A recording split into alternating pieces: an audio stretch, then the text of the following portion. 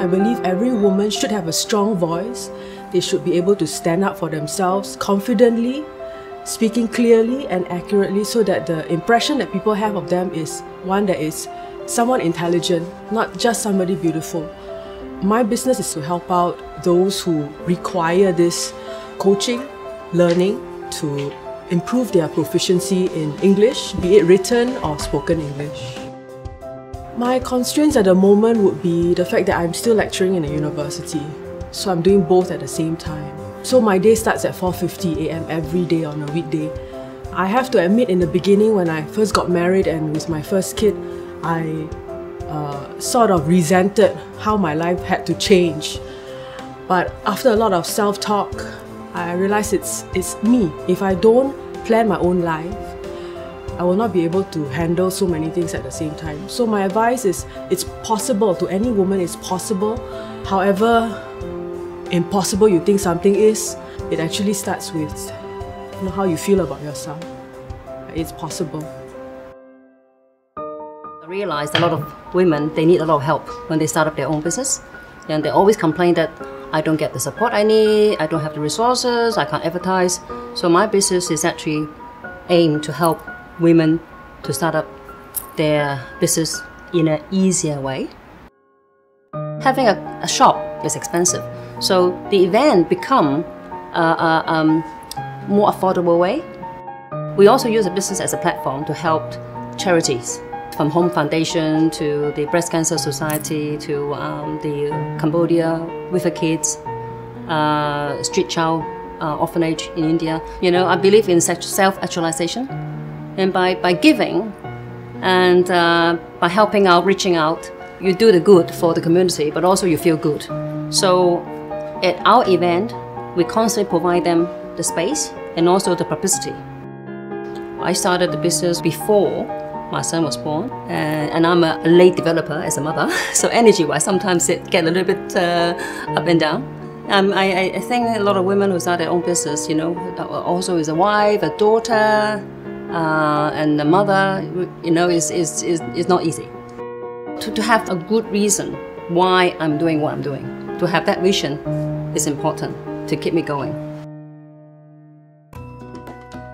I always introduce myself as a full-time mom, part-time entrepreneur, and active volunteer. I've been having experience running business for like ever since I'm a kid because my family has been in the business for a long time. I'm actually a microbiologist by training. I'm a science person, and I'm an NIE trained teacher. So I've always been very hands-on with my child when it comes to teaching. I believe in something uh, called seasons of life. There's always a purpose in doing certain things. So for me, uh, when it's examination period, I just focus on my children. Because the week before, my shop was having a major renovation. So I just focus on that. So I have to somehow plan my time well. And then uh, you just need to know that, you know, there's no way you can do everything perfectly uh, yeah, you just do some self-adjustment. I feel somehow uh, it's, it's manageable. Community work actually holds a big part of my life, especially I'm, I'm a chairperson for several organizations. So I started off as a district councillor and we discussed and planned what the whole constituency need. But I'm more active with WeWorks. We uh, actually help women from low-income family by providing them a flexible job opportunity. There's not like a woman where I think I take a rest because after that will be the children, then will be the house, then we'll be back to work, community work. So I'm still trying to keep myself sane. Yeah.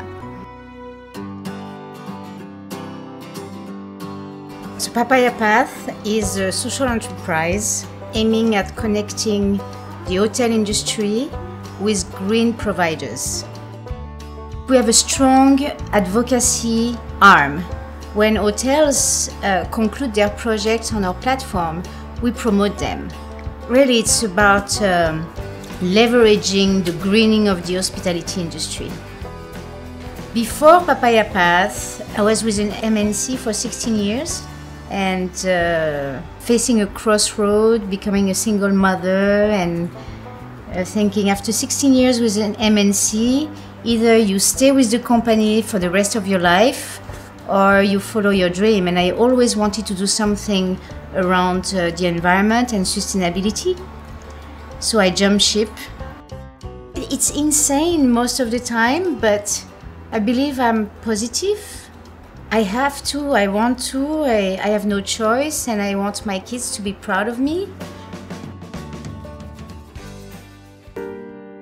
Since childhood, I've always wanted to be a world changer. So, my passion is to empower individuals to understand what is optimal health. I do corporate wellness programs, I do health events. I feel that if we are able to keep ourselves healthy, we are able to maximize our potential, and thereby we're able to give back to society, to our family, to our loved ones. I guess um, I'm privileged now, of course, at this stage, uh, to have grown up children. But yes, in the early stages was really challenging. I told myself that what matters most is making a difference in people's lives. And because I guess I've always tried to involve my my kids to understand that whatever I do, whether it's for the community or for the business, um, it was always for them as well because I believe in delayed gratification. And as long as we are able to give first, then we do reap eventually. I'm in the bridal industry. I'm a makeup artist and also a managing director for my business. Most brides are always very stressed. They have so many things going on. I don't just do makeup, I even teach them fitness because I used to be a fitness instructor. I used to be 30 kgs heavier, so they always ask me, how do I trim here, how do I do that? But all this kind of thing is just impromptu. I don't really strategically plan my business. I just find that positive attract positive. You don't need to try so hard in terms of business if you're really passionate about it. It just come to you. I have one uh, daughter, three years old, having separation anxiety now. So the reason why I have my own business so that I can bring her to work. I do programs and play dates with my daughter and her friends. That's another thing that I'm passionate about to make sure that I'm there as a mom, not just putting her to a place to study and to learn because the first few years is very crucial, right? My commitment will firstly go to being um, a servant of God first, and then motherhood, and then being an entrepreneur. As a judge, I've been very impressed with the candidates. They are all rounded and holistic in juggling family, businesses, as well as community service. Uh, to me, it's an all-rounder award, right? And I, I have give, give them a good salute. Being a man, I think if I have to do all these three, I think I will stress out quite quite fast everybody has a different way to uh, handle the business and to give back to the community. But globally, it's really impressive how they can share family, community, and business at the same time.